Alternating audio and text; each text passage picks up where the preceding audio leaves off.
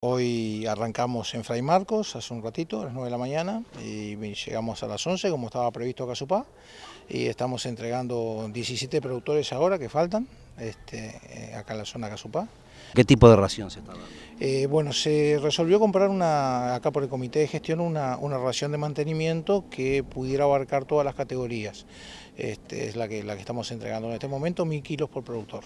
Este plan articulado entre eh, FAE, entre, entre el Ministerio de Ganadería y la Intendencia Departamental de Florida, eh, se, ahí tiene un componente de subsidio de un 75% y un componente que tiene que pagar el productor de 25% a los seis meses. Esto ayuda, es, un, es una parte de un paquete de soluciones que viene implementando el Ministerio, que obviamente eh, nunca son suficientes, eh, complementado con todos los organismos nacionales que están este, sacando medidas para colaborar con la emergencia agropecuaria.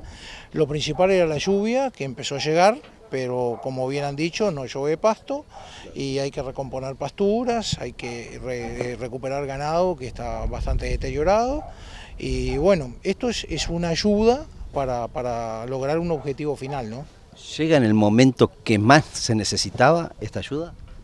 Bueno, yo creo que eh, los tiempos públicos no son generalmente los tiempos que necesita el productor. Eh, llegó lo antes que se pudo. ¿Cuántos productores serán beneficiados con este programa?